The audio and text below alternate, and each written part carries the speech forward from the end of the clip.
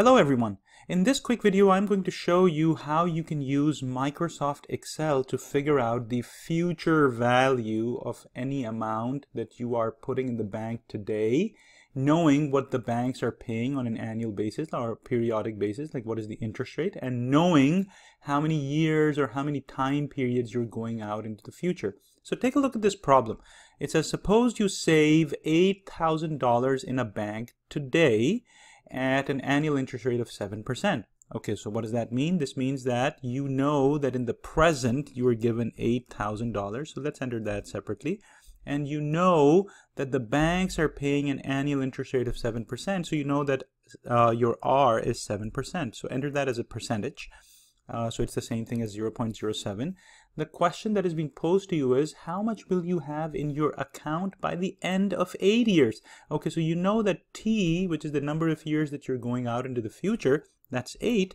And the question that is being asked is, you know, how much it is that you're going to have in the future.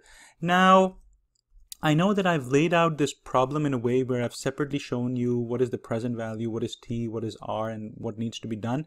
This is not necessary but useful for starters because it helps you see which of the inputs are given uh, and which is unknown. And so, so it's usually helpful to frame the problem this way because you sort of understand how to approach the problem. And so now it turns out that in Microsoft Excel, there's a very specific function which can help you determine the future value when these sort of inputs are given. And quite conveniently, it's called FV, which stands for future value. Uh, so it returns the future value of an investment. Uh, and so if you open the parentheses, the first thing that this formula asks you is like, what is the rate? What is the interest rate that we'll be earning on a periodic basis?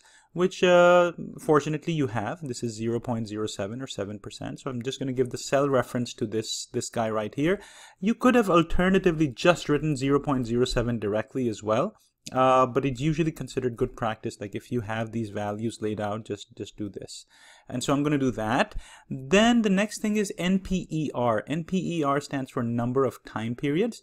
And so in this case, we know that you are interested in determining future value.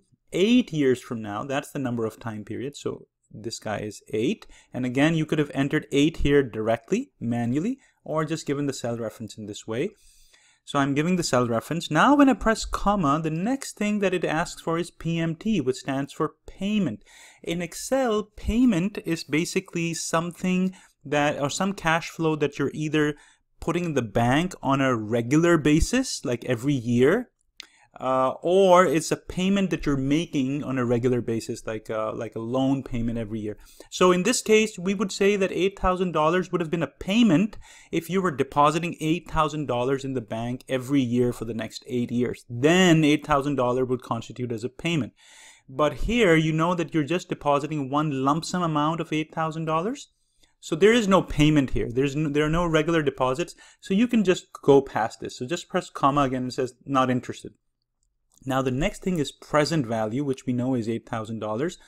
Uh, in Excel, it is always a good idea to enter all outflows as a negative number. And so in this case, money will be leaving your pocket and going into a bank, which means that you should enter this $8,000 as a negative number. And so one way you can do that is by doing negative 1 multiplied by, and then I do this. Now again, this is not necessary. You could have just entered negative 8,000 here directly. Same idea as long as you get that value here. That's what you're interested in. And now, uh, ignore type. This again, I'll talk about maybe in some other videos. It's not important here. Uh, now, if you close the parentheses and then just press enter, it will tell you the future value. So your $8,000 will become $13,745.50 approximately eight years from now if every year you're earning 7% on an annual compounded basis. And so this is how you can use Microsoft Excel to figure out the future value of one lump sum amount that you have in the present, which you're depositing at a known interest rate for a known number of years. Simply use the uh, future value formula uh, in Excel.